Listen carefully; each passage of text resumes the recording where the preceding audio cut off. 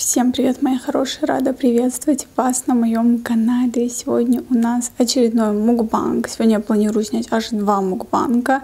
Этот я снимаю в 12 и еще вечером закупилась продуктов. Из того, что есть в холодильнике, хочу еще один мукбанг забабахать. Итак, у нас здесь роллы. Взяла сет из доставки, из которой я в последнее время очень часто заказываю. Очень вкусные роллы.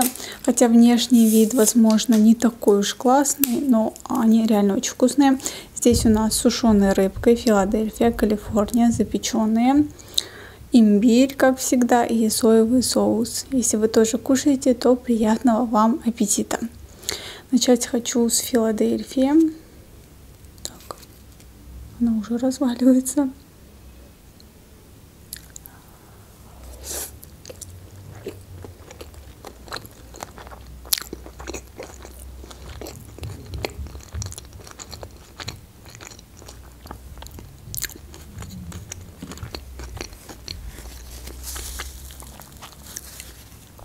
Сегодня вообще плана снимать видео не было.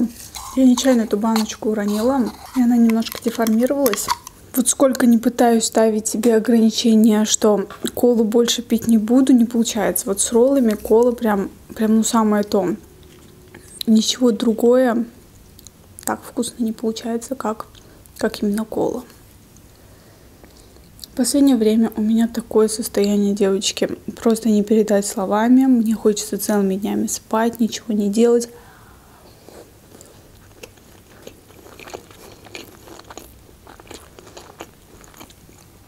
Просто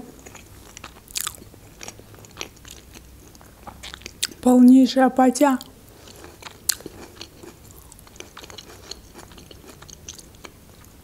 Возможно, это из-за резкой жары. Поехала в деревню, вроде там что-то контент какой-то должна была снять. Хотела остаться, взяла с собой кучу вещей. Но это вы увидите, как я разбирала вещи, я сняла видео. Там нужно озвучить сверху и выложить.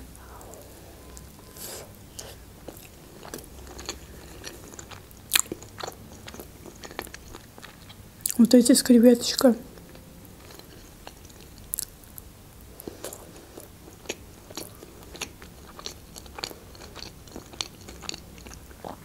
Я просто целыми днями сплю. Все. Единственное занятие, которым я занимаюсь в последнее время, причем мне спится. Обычно у меня такое бывает, когда я нахожусь в какой-то стрессовой ситуации,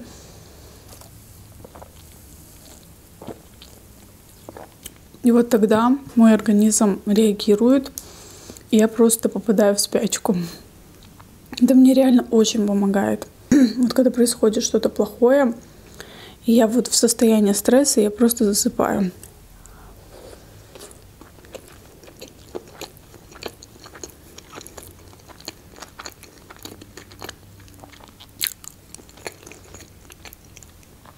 Роллы здесь сушеной рыбкой внутри форель, огурчик. Да эти тоже очень вкусные.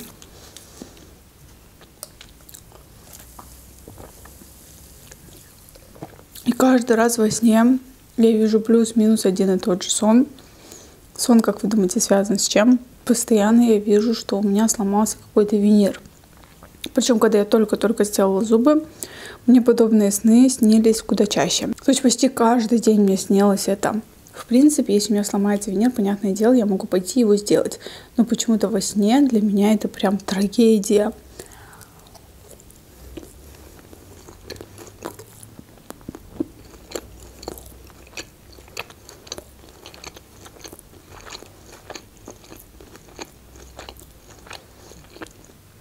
Вот сегодня тоже я сплю.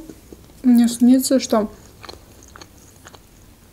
опять сломался винир.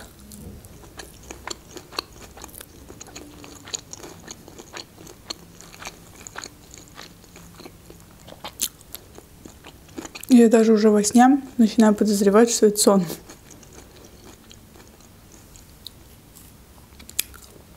Но я зубами, если честно, очень довольна. Уже, наверное, где-то полгода, как я сделала зубы. И вот если бы можно было вернуть время назад, я бы зубы сделала гораздо раньше. Потому что зубы реально очень сильно меняют э, самооценку человека. То есть я себя люблю гораздо больше.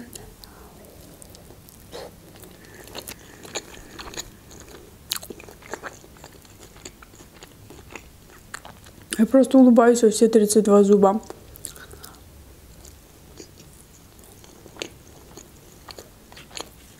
Вот. Ой. На что реально стоит тратить деньги, я считаю, это зуба. То же самое относится не только к винирам, да, а просто к гигиене, там профессиональная чистка. Раз обязательно в год я иду к стоматологу, и просто абсолютно все, что у меня появилось на зубах, я все это лечу. Но у меня, знаете, какая проблема? Я не умею правильно ухаживать за зубами. То есть я чищу их неправильно, и у меня очень стремительно развивается кариес. Хожу в одну из дорогих клиник. Врач просто обалденный.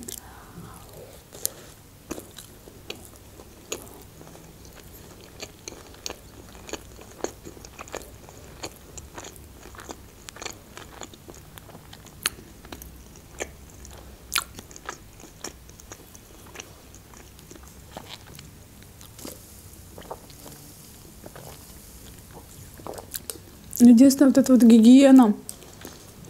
Я чищу зубы и утром, и вечером. Просто не делаю это настолько хорошо, насколько надо. Но я вообще в интернете читала, что есть просто такая характерная особенность организма. У кого-то, например, кариес развивается очень медленно, у кого-то стремительнее. И это типа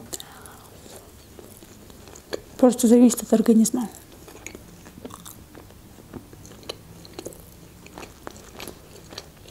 Реально очень вкусно.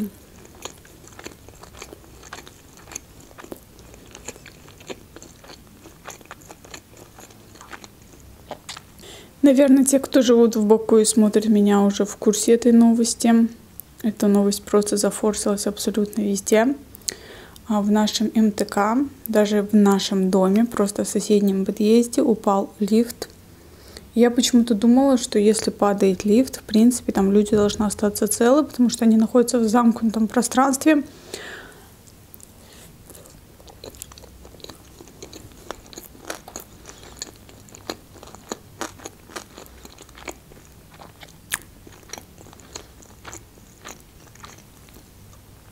Большой лифт, он рассчитан, насколько я знаю, на 5 человек. А туда залезли 13.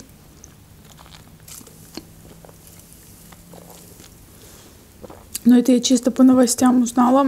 То есть меня в этот момент здесь не было. Здесь была скорая, полиция. Там, не знаю, все СМИ, все это снимали. Типа начали говорить о том, что некачественные лифты, все дела. Не знаю, как оно там было на самом деле, понятное дело. Но теперь каждый раз, когда я захожу в лифт, я задумываюсь, а сколько здесь человек и сколько мы вместе будем килограмм.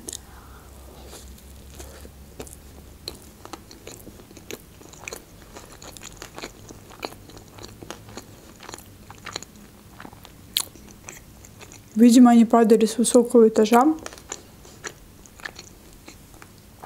Вроде как все живы, но там такие крики, оры были.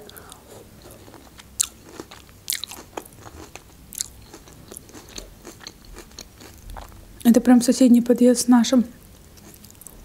Одно и то же здание. Но вот соседний подъезд.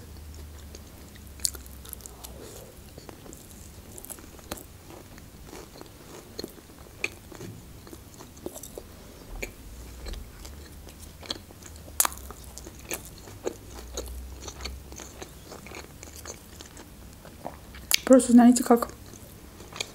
Люди привыкают к тому, что ничего не происходит. Например, говорят, что больше пяти человек нельзя, к примеру, в большом лифте. А мы каждый раз, например, в семером едем, потом и восьмером едем.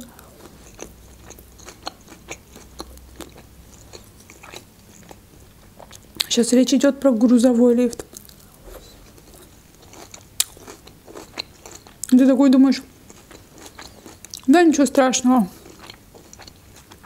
Прокатит в этот раз ничего не будет. А вот и нет.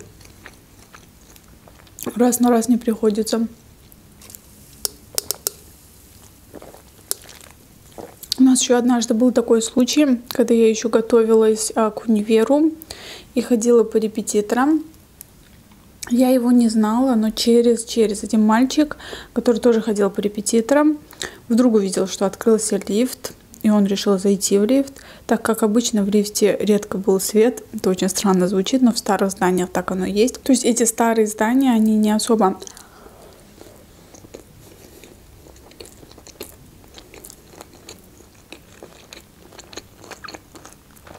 платят коммунальные услуги. То есть, ну, знаете как? Они платят в год где-то 10 долларов. В год.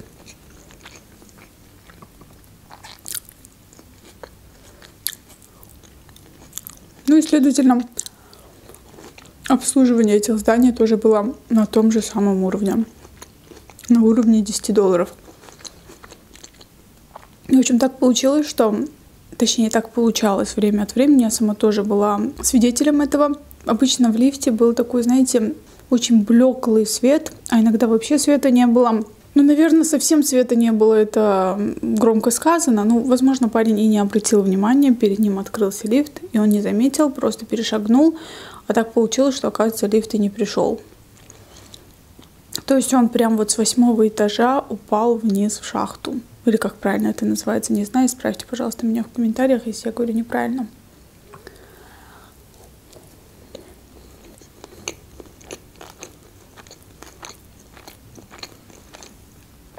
Вот после этого у нас все лифты в этих старых зданиях поменяли.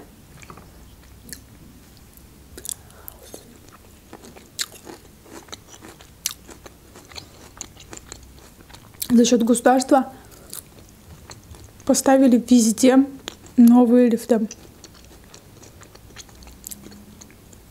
Ну, по крайней мере, я уже давно не видела в старых зданиях, чтобы стоял прям сильно потрепанный лифт. То есть у нас это как обычно. Особенность человека. Пока не случится, никто за это не возьмется.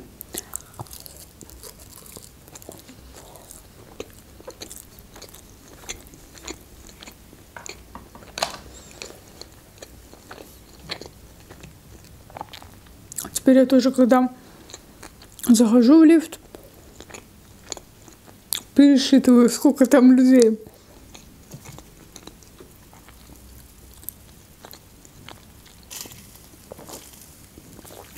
Я, к сожалению, пострадавших совершенно не знаю. Да и вообще у нас в здании люди максимально необщительны. Ну, с одной стороны, может быть, даже это хорошо. То есть, например, у нас есть соседи справа и слева. Никого из них я особо не знаю. Я знаю только нашу соседку сверху. Просто потому что у нас были постоянные конфликты из-за того, что они создавали дискомфорт для нас. А так, в общем, соседи абсолютно друг друга не знают. От слова совсем. И это, мне кажется, не только у нас так, а в большинстве новостроек.